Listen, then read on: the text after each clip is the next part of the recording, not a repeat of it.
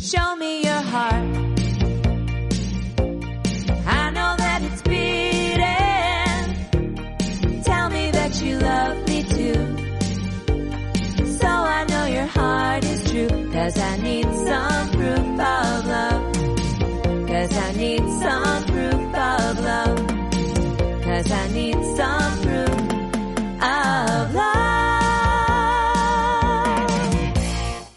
What's the point of all this technology without a little love in our lives? Our hosts, Tatiana Moroz, Dr. Stephanie Murphy, and Lauren Kasovitz, have come together to bring you Proof of Love. Go to proofoflovecast.com. Hello, everybody, and welcome to a very exciting episode of Proof of Love. We're getting up to our one year anniversary, which is exciting. We came out on Valentine's Day 2019. We'll be doing a little bit of promo around that for the one year anniversary show on February 14th, 2020.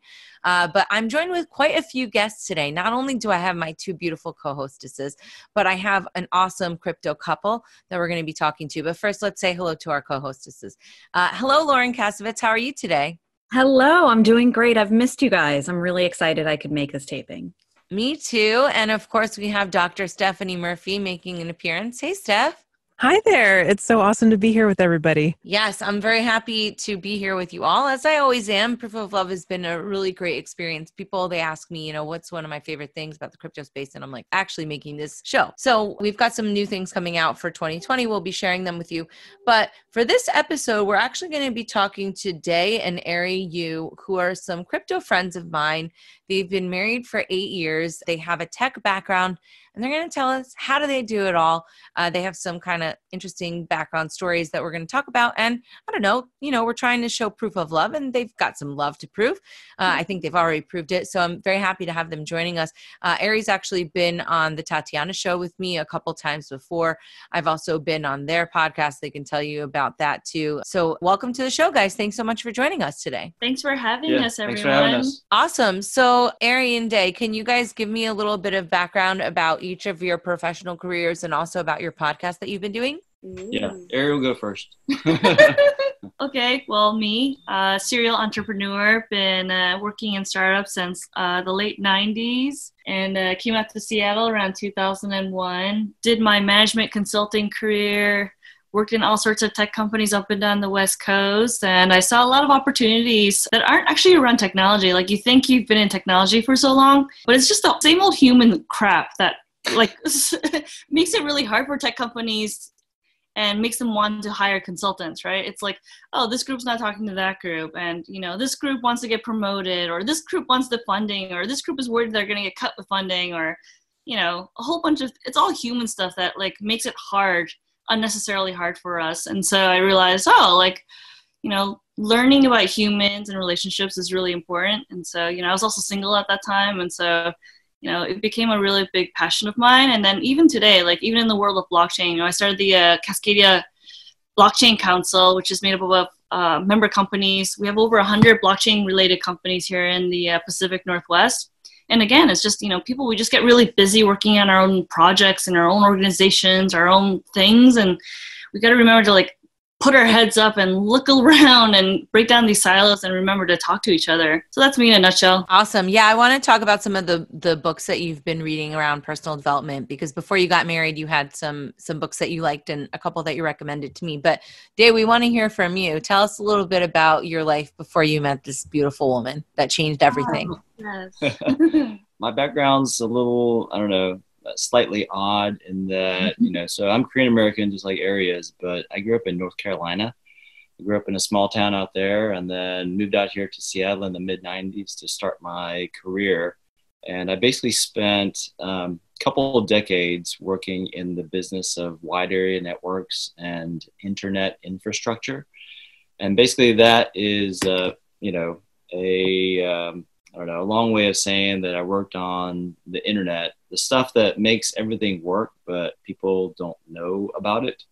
And so it's really, really analogous to what's going on these days with respect to, um, you know, the infrastructure of Bitcoin and, you know, the protocol, you know, the software rules that make up Bitcoin and all the other related, you know, cryptocurrencies, digital assets, and everything And so, um, you know, so I have a technical background in electrical engineering. I decided to, you know, kind of shift my focus out of telecom and wide area networks and internet uh, into Bitcoin and blockchains. And so, uh, yeah, dove uh, full, full in, you know, like uh, mid 2018, and uh, now here we are, like year and a half later or so. I'm still marveling on how both of you said that you've been working in tech since the 90s. Like, you do not look old enough to be working in tech since the 90s. Agreed. Oh, thank you. It's the uh, the Asian genes.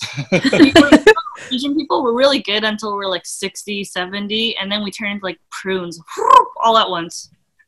do you do anything for beauty secrets? Yeah, I want to know about that. I heard there's a lot of good Asian beauty secrets that they're keeping to themselves. I would like to know. So this is kind of a joke. So from when me and Arry were dating, I, mm-hmm. w- I, w- I told Arry that I was very sebaceous. And so it's like it's like basically you want to keep your skin like moisturized and you know clean and all this kind of stuff. But I told her I was sebaceous, and she was like, "I am too." And then I was like, "You don't know what that means, do you?" Sebaceous. I thought it meant special. but basically, you know, I just, you know, I just have naturally very oily skin. You know, I, I think that lends to the semi-youthful look, even into uh, pushing fifty here. So, you know, um, He's is what it is. He's looking sexier with his salt and pepper. Like he's getting more and more solid. I'm like, ooh yeah. Uh, for me, I'm like so. Dae and I are actually opposites. Like he's the guy that'll wash his hands twice every time he washes his hands. I'm the person that you really have to remind to use soap. and so I'm like the worst to talk about routines on this stuff, like face cleanliness and. so no beauty secrets. no, I use water. You just woke up like this. Great. That's. That's about it. So, well, good for you guys. Um, I'm curious, like, how did you meet each other? We have two stories. Yeah, it's very painful for me. Painful. Yeah, it's painful for me. Uh, so, so I ran into Arry at a mixer at a happy hour, and she was extremely memorable because she showed up on a scooter and on crutches. And so I, you know, I remember, you know, trying to strike up a conversation with her and didn't really get anywhere. and and that was it. And then years later, of course, I knew who she was. And I told her that we had met, and she said, "No, we didn't."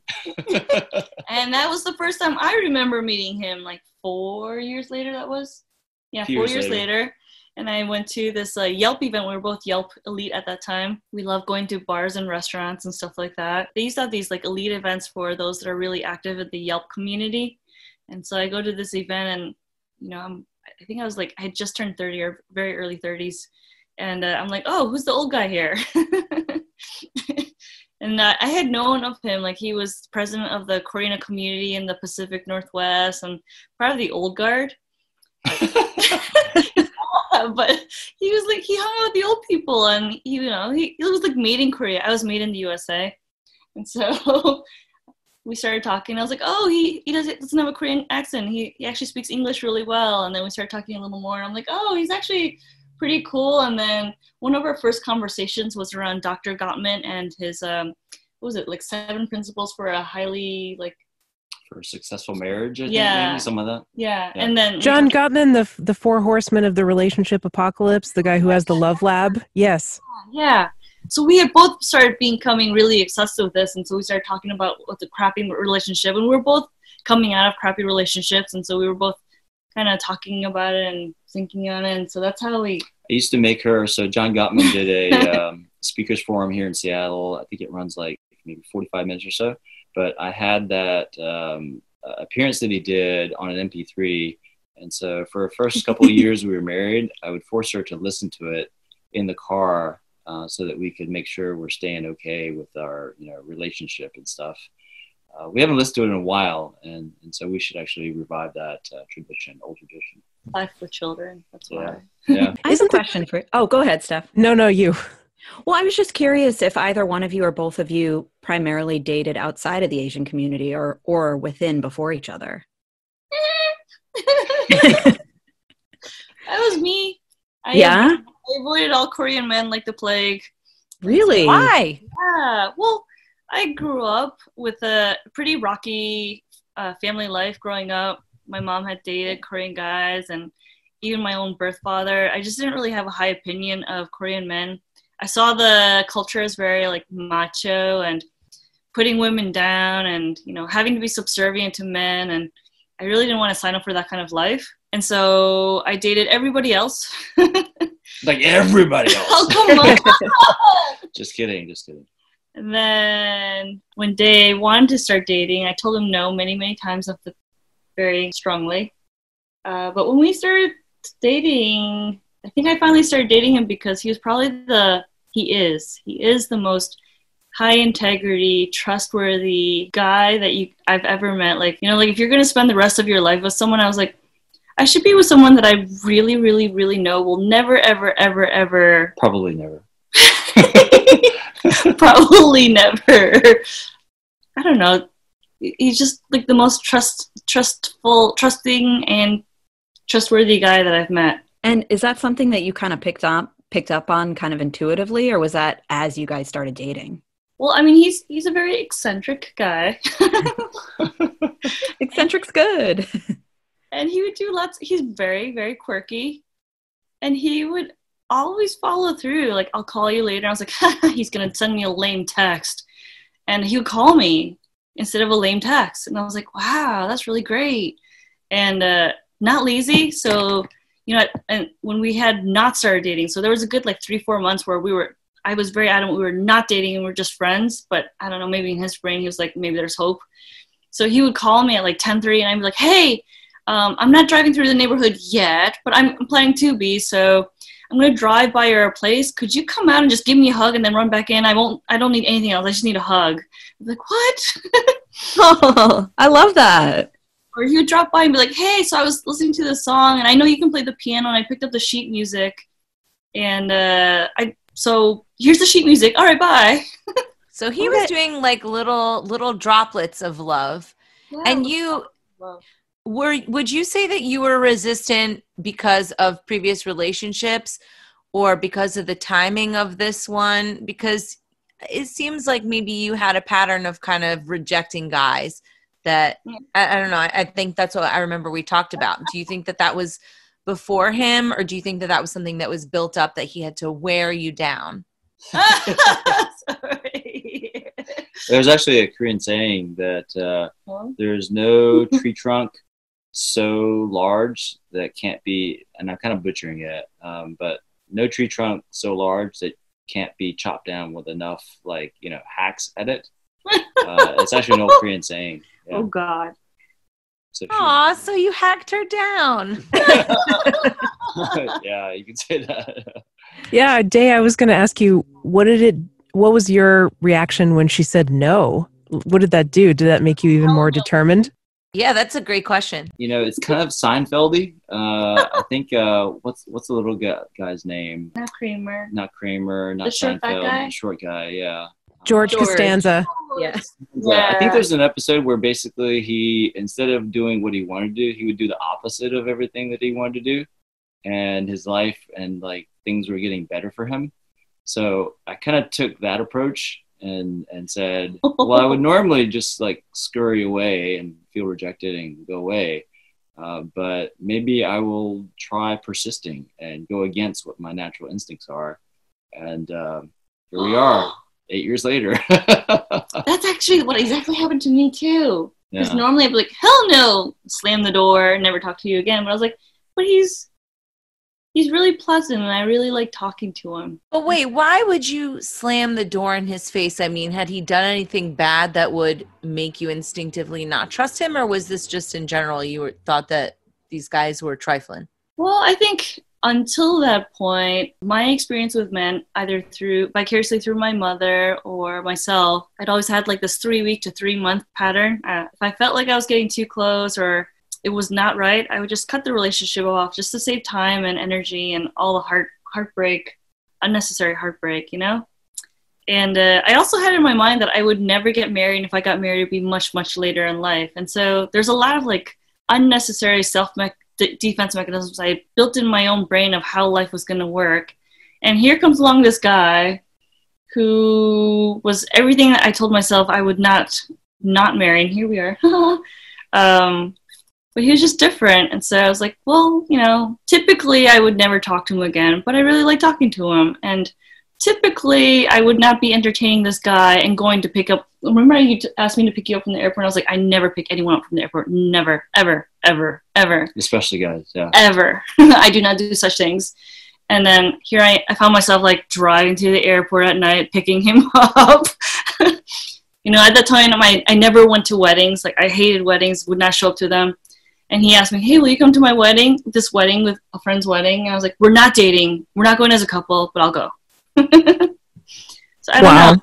There's a lot of Baggage. baggage. and maybe I don't know. I think I knew that he was one. He was one of the good guys. Yeah.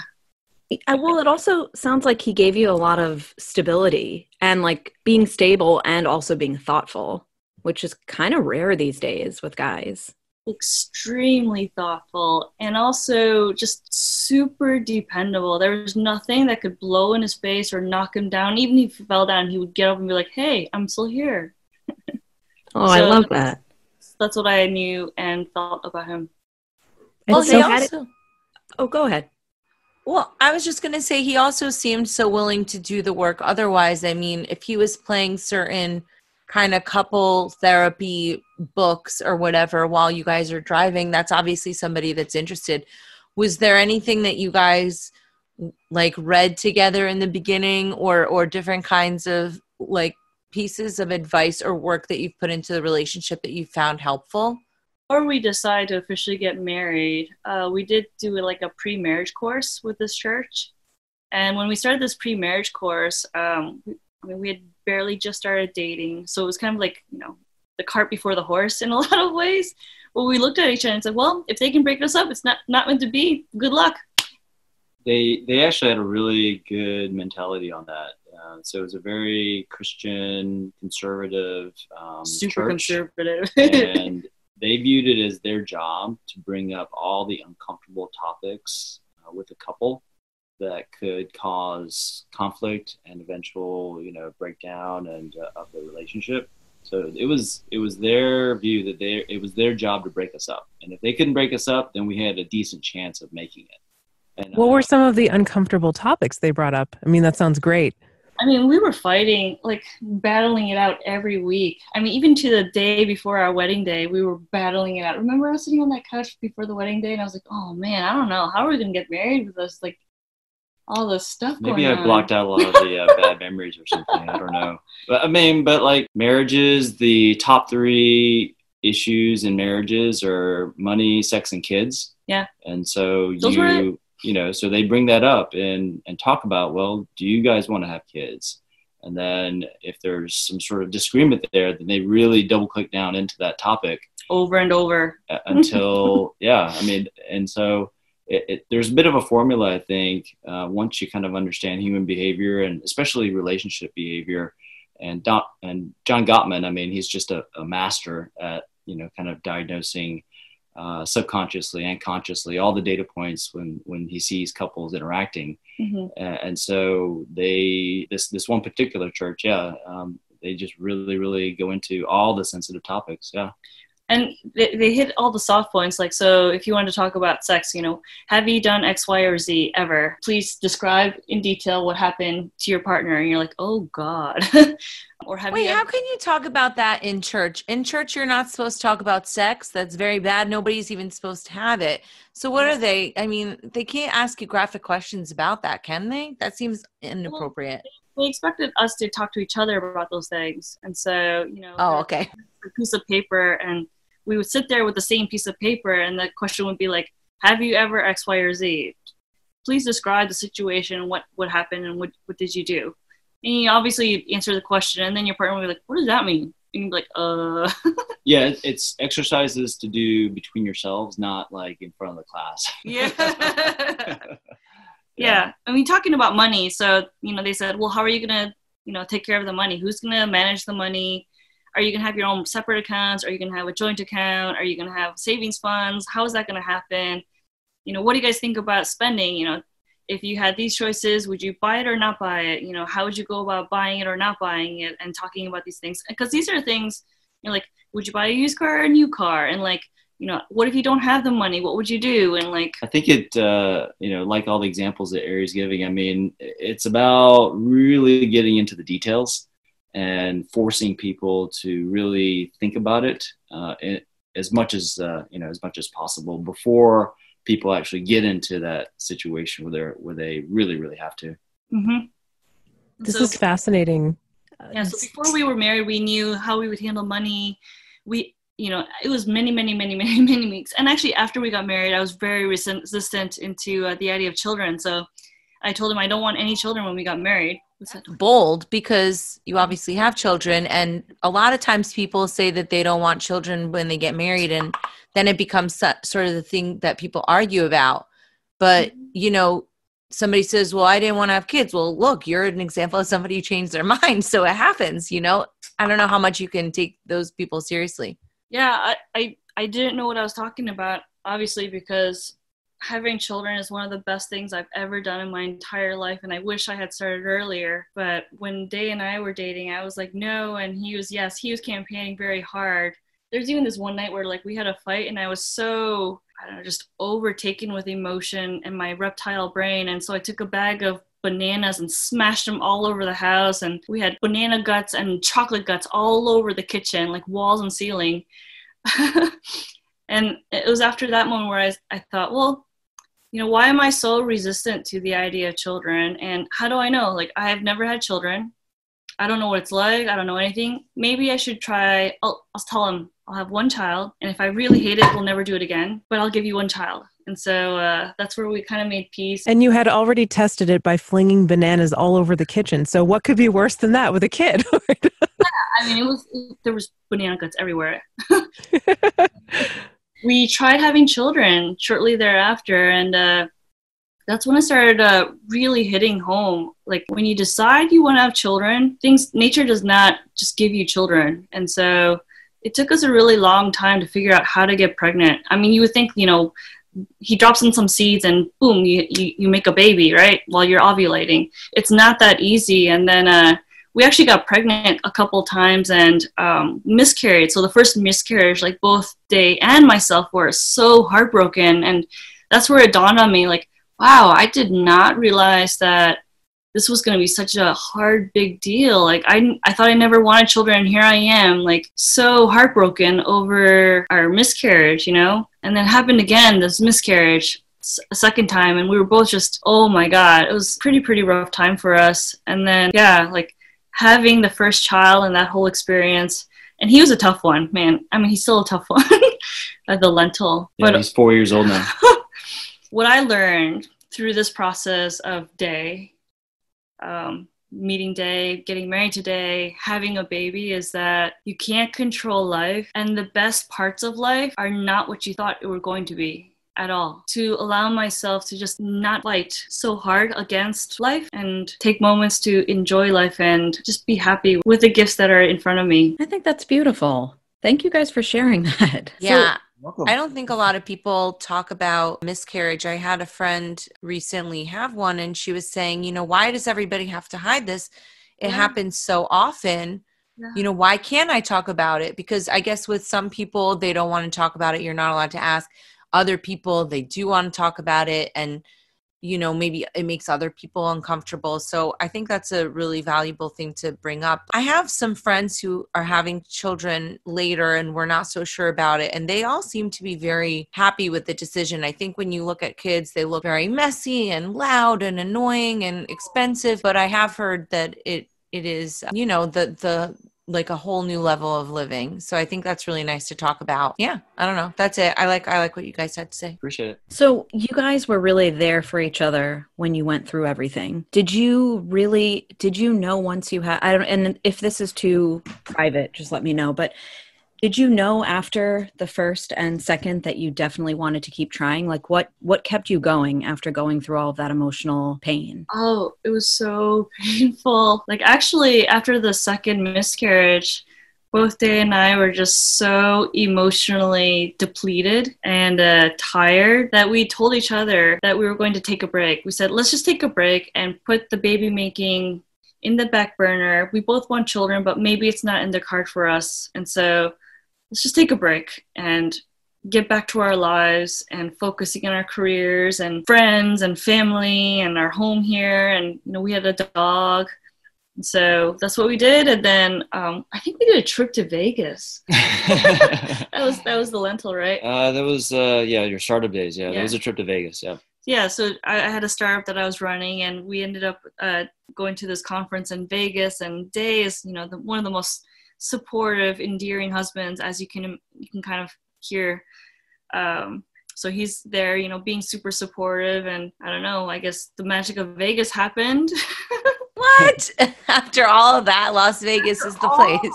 yeah we're like drink it up yeah we're in vegas you know stir up life hustle and then a couple uh couple of months later i think it was like seven or weeks or so eight weeks. I missed my period and it was like three weeks four weeks late. It's like fine i'll try and take a you know pregnancy test. So i had like this box. They come in boxes of three sometimes. So i bought this box and there's three in there and i took a test and i was like no. I'm gonna take another one. No. And uh, Dae sitting outside in the bedroom was like, Harry! I'm like, I took another one. No, wait, it can't be true. So like, I came out. I'm like, Dae, we're pregnant. Wow, that must have been so crazy. Did you guys were you guys afraid now that this was actually, you know, you were off to the races? Uh how did you get prepared? We didn't. We decided not to tell a single soul. uh, Whoa. because we did not want to, you know, break the news of another miscarriage. Yeah, it's a really sensitive time period because, you know, when a couple gets pregnant, uh, you're not only going on a journey yourself, you know, if you're part of the couple, but then, like, if you tell family and friends and everything, then it kind of sets up this massive, massive expectation.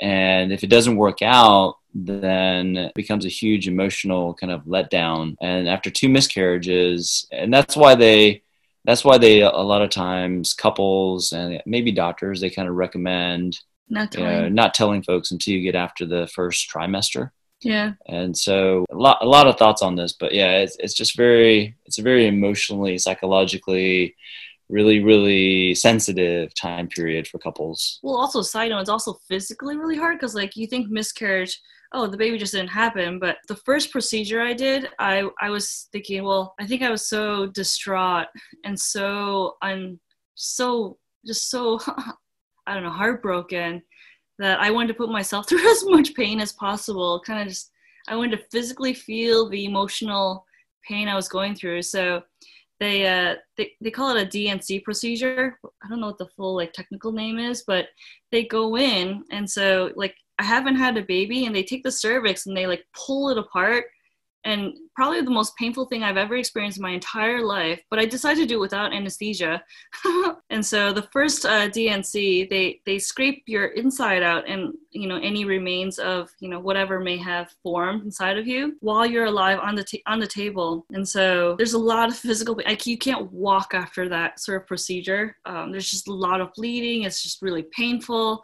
And if you decide to do it like I did, don't ever do it like I did. I, I mean, anybody that's listening out there, if you have anybody that's deciding what to do, what to, how to do a D&C procedure, go to the hospital and do it with anesthesia. Totally recommend it that way. So I did it first time without the anesthesia, and then the second time I did it with anesthesia. But even that time, like you're like in bed, like after the procedure, you can't walk. I mean, they say you can walk, you can, but it's very, very uncomfortable Oh, wow.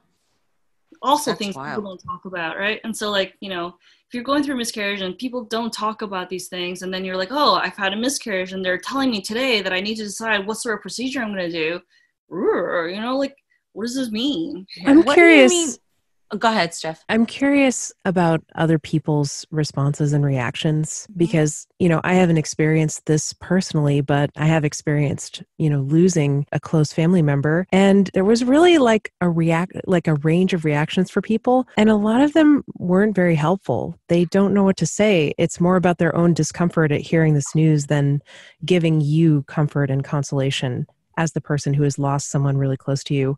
And so, what was your experience with that? And was there anything that people said that was most helpful? Yeah, that's definitely true. Uh, like our parents, as first generation immigrants and younger parents, I mean, they just could not even comprehend the idea of a miscarriage.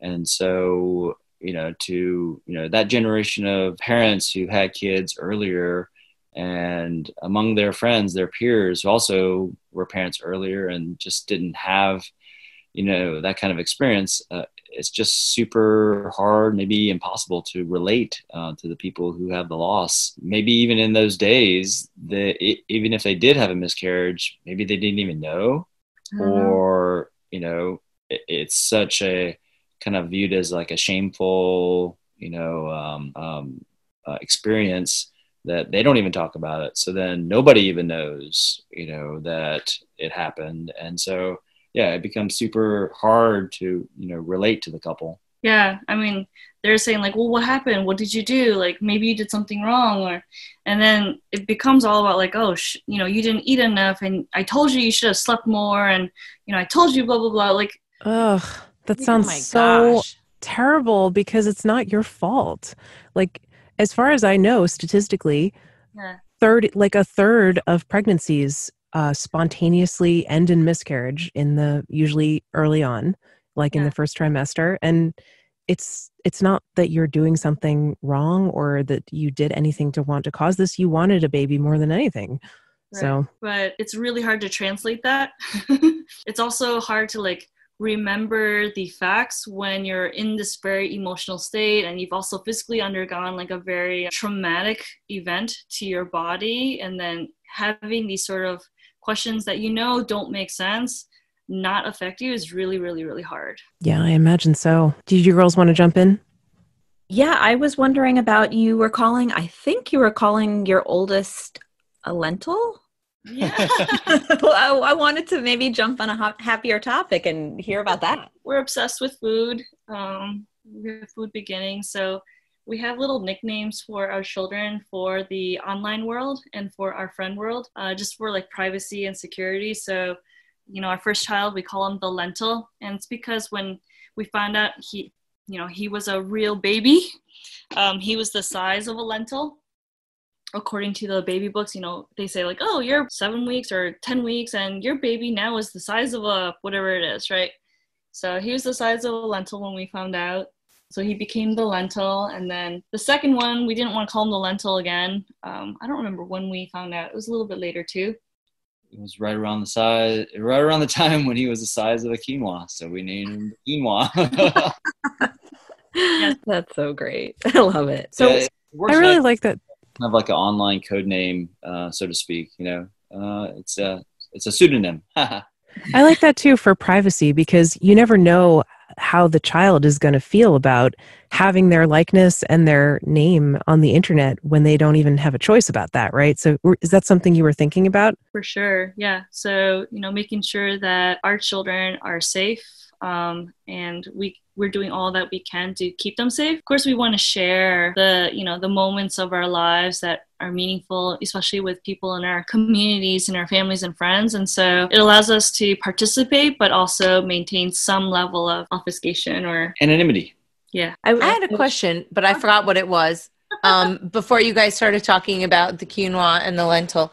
Um, oh, I know what it is. Okay. So, do you guys have sort of Korean tradition in the household in terms of rearing your children? And do you think that that's a blend with kind of your California style now? I mean, you guys aren't in California, but West Coast has its own sort of, I guess, a little bit more liberal kind of parenting style. So, how have you guys melded those two worlds together? Do you have certain traditions from home that you keep doing? Yeah, well, actually, well, so Dae's made in Korea. I'm in USA, and so it's basically a good symbol of how we are living our lives today. Like for the first 18 months of the lentils life, my parents-in-law, Dae's parents, lived with us, which is very atypical Korean families today to do that extended family thing. But we felt it was right for our family, and so Dae's parents lived with us for quite some time. My mom also lived with us for about six months as well, and so we really got to benefit from their their I guess influence. And they also live very close by, and so they see the kids at least once weekly. So we're very very very lucky on that. And you know they're singing the traditional Korean kid songs to them, and we have a lot of the uh, Korean gifts from our family in Korea that they send to us. And so you know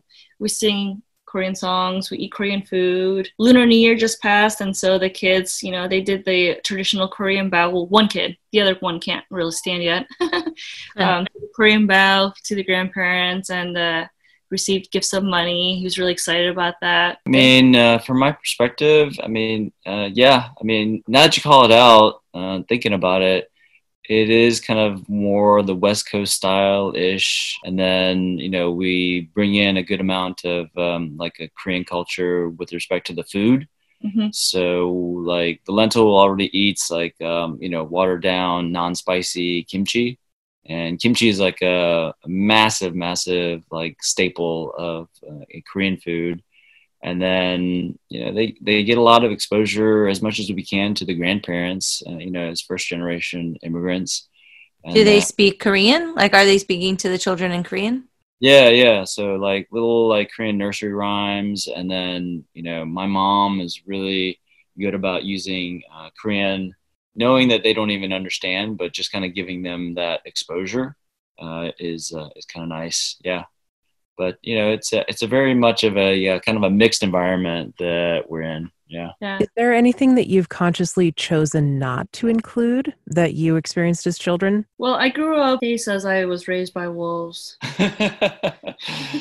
I grew up a single parent family. My mom raised both myself and my brother, and uh, she worked a lot. So that part, you know, we don't have in the family because you know they have two two parents. no I I, don't I know. can't really um you know i can't really think of anything that we're purposely trying to exclude i think these days with a nine month old and a four year old we're just trying to survive Yeah, how do you deal with that? Like, okay, so you're both business owners, like you actually your your partners in business, right, as well as in life. And so, can you talk a little bit about how you deal with that, and what do you sleep? When do you sleep? Yeah, people don't realize, uh, and I totally took this for granted, but yeah, sleep is uh, one third of your life. Everybody hears that and nods, but they don't really understand how important it is. But having children basically will destroy your sleep for maybe like a decade or so. At least, yeah. Uh, and then you, you know, the more kids you have, just it's just more intense. Like uh, it's more intense destruction of sleep. and so, um, yeah, no one told me that I would go into a clinical depression because of all the sleep deprivation and sleep, um, you know, uh, interruption. But yeah, it, it is literally kind of like, you know, day to day, who's going to wake up, who's going to be screaming, who's going to come into the room, you know, all this, all this kind of survival Who's level gonna have stuff. a night? Yeah, yeah. It's just yeah, it's really really hard, and we're tr- both trying to, like you said, you know, uh, keep a you know business running, and you know, basically be like freelancers, and you know, pay the bills, keep food on the table, roof over the head, all that kind of stuff. It's a lot of coordinating. I mean, we've taken technology into our home life. So, like, we use Slack for all our um, coordination between Dae and myself on like the home front. I call it home operations. We talk about um, our coordinating with family members and their birthdays. We have channels for each of the kids so that you know, depending on which kid needs what, you know, either Dae will take it or I'll take it. Um, we tend to both want to take our kids to the doctor. So Dae and I will both go to our doctor appointments for the children. Yeah. That's interesting. Is that a thing from John Gottman too? Because I know he says have a marriage meeting for a successful marriage. Yes, we actually have a quarterly offsite where we talk about our strategies for our marriage too. So we'll talk about all the buckets that are really important to us. You know, like there's finances, career, what do you want to accomplish with your life? You know, how are we taking care of our, you know, extended family members, especially our parents? Just Wow. just travel. Are we saving enough? Like we do the strategy offsite. I mean, I think that kind of uh, stems from our professional lives, being you know information workers, office workers, and just being used to that. Again, you know, that's like at least a third of your life, and so you know we bring that into our personal life uh, to to make it work the best we can. Um, Well, that's also how windshield time came out. So, like, you know, Dae has, you know, this 20 some plus year life career in sales. And so when I started doing more active sales, when was that? Like 2010, 11? Um, I turned to Dae for a lot of my sales advice.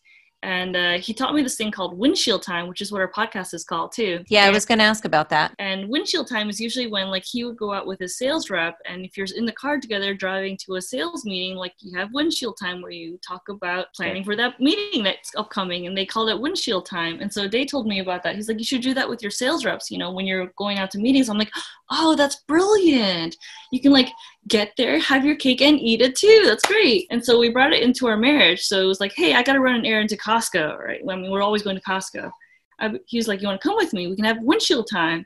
Or when we dropped the lentil off at you know preschool, he'd be like, hey, you know, I'll I'll do the drop off, but you want to come and we can have windshield time on the way back, you know. And so we brought it into our marriage um, so that we can talk about, you know, what's going on for the day, or hey, I need to talk about something. Can we use it during this windshield time? And then we're like, hey, actually, you know, the way we're living our lives, you know, everything is sort of like intermingled into one big pot right now with our children and our, the extended family and our careers and our life interests and travel and all this stuff is one big bucket.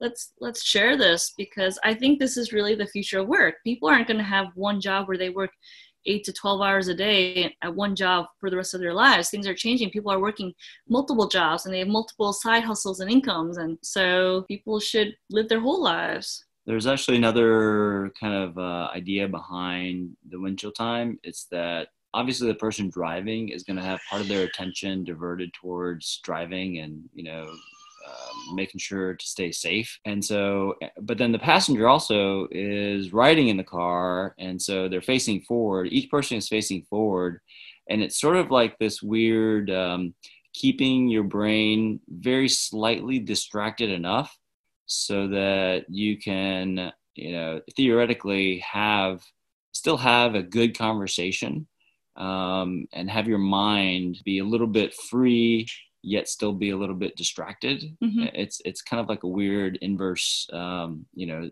thinking well the term is like suspension of attention yeah So the fact that, like you know, Steve Jobs, he would go on walks to do a lot of his talks. Um, yeah. oh that's a perfect idea, example right? yeah yeah So um, having some part of your brain sitting on some other topic that's sort of automatic, automatic, like driving or walking, while doing conversation side by side, actually allows for a lot of sync syncing between the t- people that are synchronization yeah, and so it's actually really, really good. Good technique that I would recommend for other people.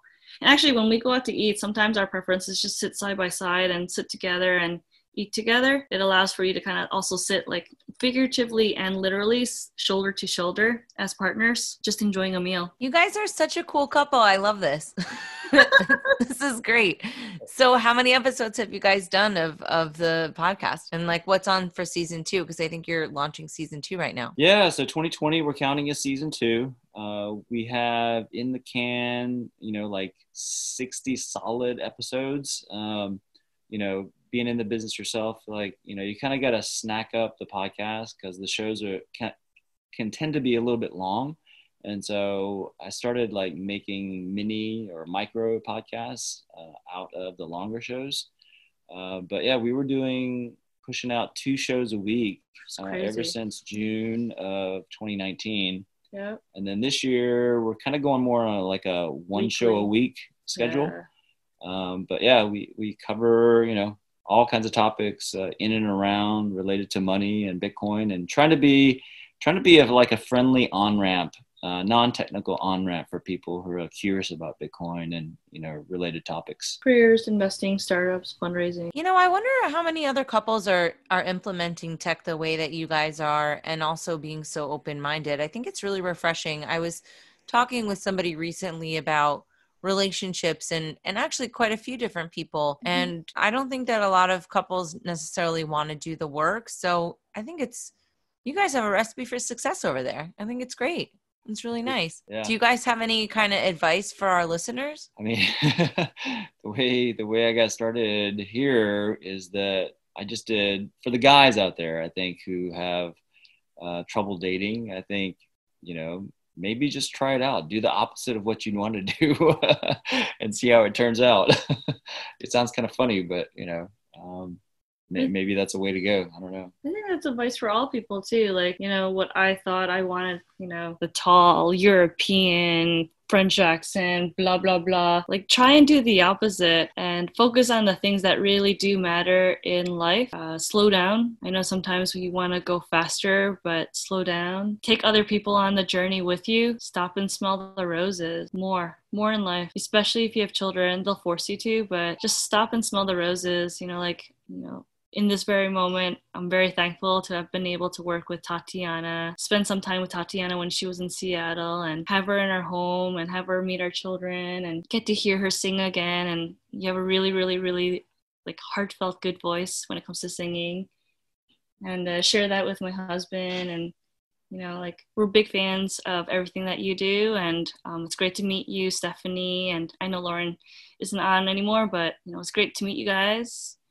and I think sharing and the more that we can reach across, you know, computer screens and devices and country and state borders, the better life will be for everybody. Absolutely. I really recommend that everybody listen to your podcast. Where can people catch up with you online? Can you give us some links? Yeah, so our podcast is called Windshield Time. We're available on all the uh, audio listening platforms out there, you know, the Spotify's, Apple's, blah blah blah blah blah. I'm really psyched about the fact that we just got our custom YouTube URL. Yeah. Because when you start out and you know with your own channel, they give you this like gobbledygook of like le- letters and characters. Nonsensical. And uh, you know we finally got to the point where we were able to have our own custom URL. So it's YouTube.com/slash C like channel slash windshield time and so uh, makes it super super easy to share um, What's the criteria? Do you need to have a certain number of views or subscribers for that? 100 subscribers. 100 so. subscribers you need to be uh, at least 30 days old um, you know you gotta i think that behind the scenes they want to see you upload stuff you know on a regular basis there's like a little half page of criteria that you have to meet before they'll they'll give it to you um, but you know, being very goal-oriented people we are, uh, it just gave us you know another another place to you know work towards. Yeah, so we just crossed the uh, 100 subscribers last this past weekend. Yeah. Thank you everybody that helped us do that. Very active on Twitter, so I'm at Arry in Seattle. It's very boring. I wish I had a better name, and I need to think of a better name. It's totally not cool, but it's at Arry in Seattle. And They- I'm and I'm luggage junkie on Twitter as well. At Luggage Junkie, which came from the days of the lentil. So he would not let me lift a single finger when I was pregnant, and so he would carry everything, including all the hand. Oh, Yeah, so he called himself the Luggage Junkie, which is why he's called at Luggage Junkie on Twitter. I couldn't understand what that meant. That's so sweet and darling. I think a lot of the men that are listening to this show uh, should take some pages from his book. Dae, I mean- you are a you are a light of, of manliness. Very good. Southern, southern, southern gentleman with his salt and pepper. Oh, you're right. It's the South. that's what the South is going on. they have manners. Um, I think that's lovely. This is such a good interview. This is definitely one of my favorite interviews. You guys have to come back on soon, I hope. Appreciate it. Appreciate it. Um, yeah, thank you. I, I- one last one last thing I'll throw out there is, uh, you know, if anybody wants that, you know, like I think it's a 45 minute MP3 file of uh, the Oh, yeah. John Gottman show. Mhm. I mean, literally, you don't have to read a book. You just sit there and listen to John Gottman in his amazing, wise, humorous, super intelligent, knowledgeable voice, like tell you what it takes to make a relationship. Yeah. I mean, he even break, breaks down, you know, a mathematical formula that you can follow to, you know, find uh, good relationships and also create good relationships, not just with uh, significant others, but also I think it's crazy applicable with work relationships as well. Yeah. You know, it's like like you said, uh, the, you know, like someone said, like the four horsemen of uh, you know marriage apocalypse. I think it's extremely applicable also towards working relationships hmm because if you have defensiveness and uh, Contempt. contempt and you know stonewalling towards your working you know peers, that's not going to be a working relationship for very long. you know? It's the death of that relationship.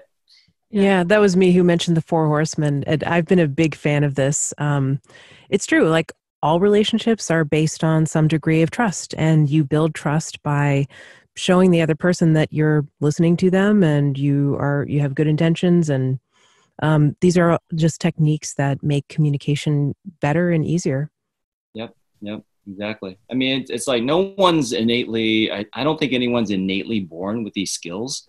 These are skills that are learnable, practicable, and uh, you know, it, it it could just I, I, think it can make people's lives a lot better once they know that these uh, basic tools exist. Mm-hmm. Okay, so where do you get this 45 minute John Gottman speech?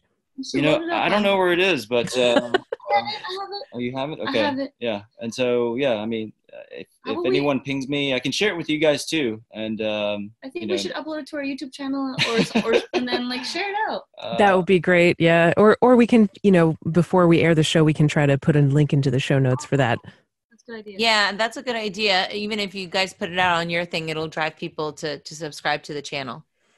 Appreciate it. Yeah. Awesome. Well, Dae and Arry, I have to say, you know, uh, it's not. I'm always a little bit skeptical when we're interviewing a couple because I'm like, oh, are they going to be interesting or are they just going to be kind of like, you know, lovey dovey, kind of everything's great. But you two, I have to say, I was really impressed by you. I'm really interesting. They're fantastic, right? Yeah, you yeah. you you know how to podcast. Clearly, you're very self aware. You've done the work on yourselves and on your marriage before you got into it, and gone into it with a lot of awareness and consciousness, which makes it uh, great for people to learn from you about things that they might want to emulate. So, thank you so much. I'm really glad to have been introduced to you, and I hope we can talk again. Yeah. yeah likewise. Thank you. Thank you. Appreciate it hopefully we get to see each other in real life. Um, if you're ever in Seattle, look us up, or if we're ever where you are, we'll uh, look you up. Thank you. That would be great. I'm on the East Coast in New Hampshire, so uh, the whole whole continent away, but maybe there'll be some opportunity. awesome. Okay, guys. Well, thank you everybody for listening to Proof of Love. Go to proofoflovecast.com, submit your questions.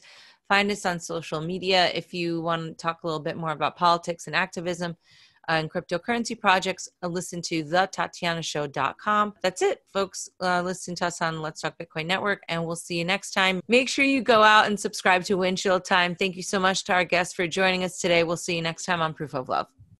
Show me your heart. I know that it's beating. Tell me that you love me too.